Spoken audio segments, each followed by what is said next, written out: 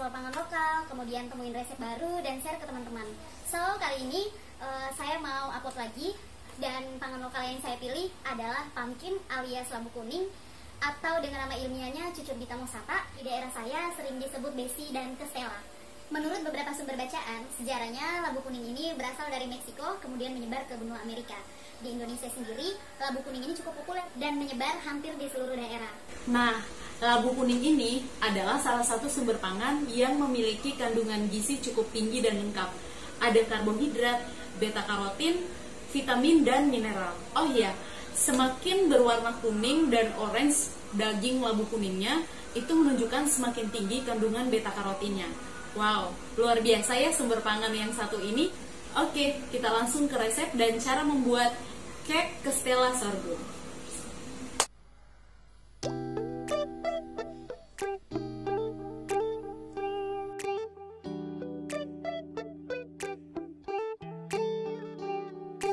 Pertama-tama labu kuning alias kestela ini aku kupas.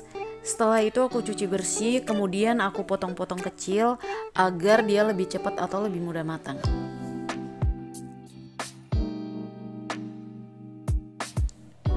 Tambahkan air secukupnya, kemudian masak dengan api sedang hingga matang.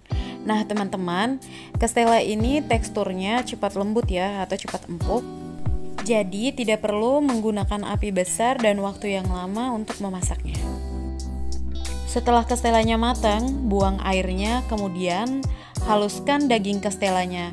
Nah, untuk menghaluskan daging kestela ini, teman-teman bisa menggunakan alat penghancur seperti ini, atau bisa menggunakan garpu, eh, atau daging kestelanya bisa teman-teman blender. Yang penting hasil akhirnya seperti ini.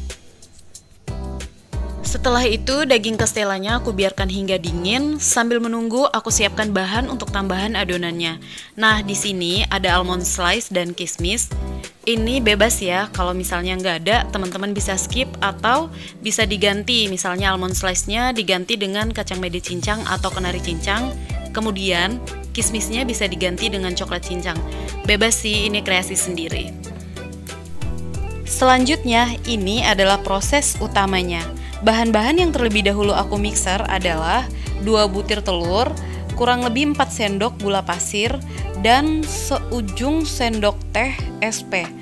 Jadi ini nggak sampai setengah sendok teh ya, sedikit aja SP-nya.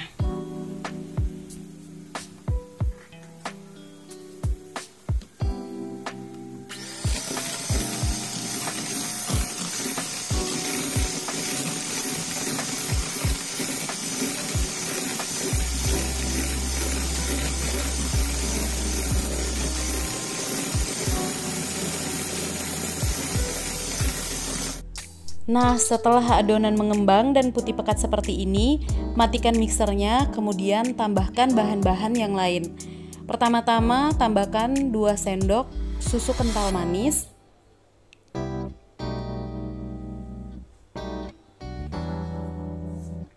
Setelah itu, tambahkan daging labu kuningnya.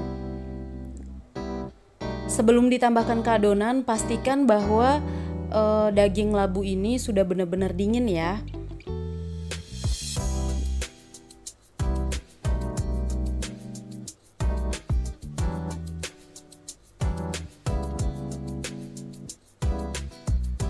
Selanjutnya adalah satu gelas tepung sorghum. Tepung sorghum ini wajib disaring ya teman-teman agar menghindari uh, gumpalan atau mungkin ada debu uh, debu lagi. Ada kerikil yang masuk saat proses produksi. Setelah ini adonannya di mixer lagi sampai uh, semua bahan benar-benar tercampur rata. Dan uh, selanjutnya ditambahkan kismis cincang dan almond slice kemudian di mixer lagi agar benar-benar tercampur rata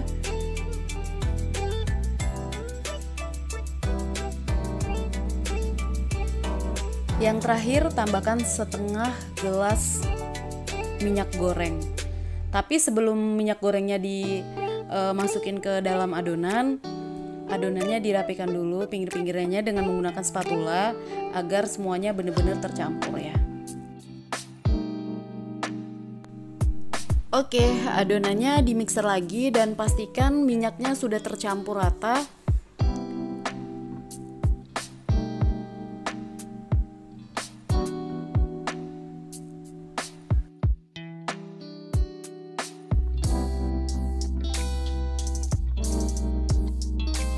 Dan tahap terakhirnya adalah aku pindahkan adonan tadi ke dalam loyang Nah, loyangnya sudah aku beri margarin dan dilapisi dengan kertas roti seperti ini agar ketika cake-nya sudah matang, ini mudah diangkat atau dikeluarkan dari loyangnya.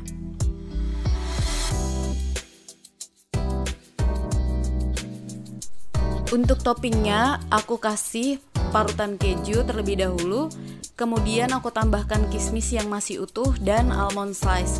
Uh, ini bebas ya, teman-teman boleh bebas berkreasi. Tapi aku suka ketiga bahan ini karena mereka itu mewakili rasa masing-masing. Jadi kalau kejunya itu ada asin-asin mewahnya, kemudian kismis itu memberi rasa manis, terus tampilannya juga jadi cantik dan almond slice-nya itu tentu saja memberikan rasa crunchy, gurih Setelah selesai menata toppingnya, loyangnya aku hentak-hentak pelan tujuannya agar uh, si toppingnya ini uh, sedikit masuk ke dalam adonan. Kemudian adonannya aku panggang di api atas bawah dengan suhu 200 derajat. Api atas bawahnya ini 20 menit, 20 menit pertama, kemudian aku ganti lagi api bawahnya 15 menit dan terakhir api atas bawah lagi kurang lebih 10 menit. Nah, hasilnya seperti ini. Cake Castella sorghum sudah jadi.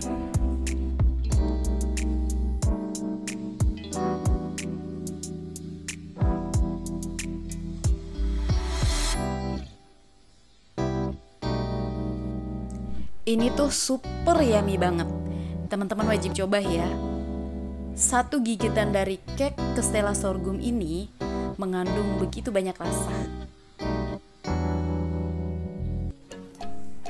Kestela yang lembut bertemu dengan sorghum yang sedikit kasar, dilengkapi dengan sensasi crunchy dari almond slice, kemudian ada rasa manis dari kismis, gurih dari keju, menjadikan satu potong kek kestela sorghum sangat istimewa. Teman-teman wajib coba di rumah ya.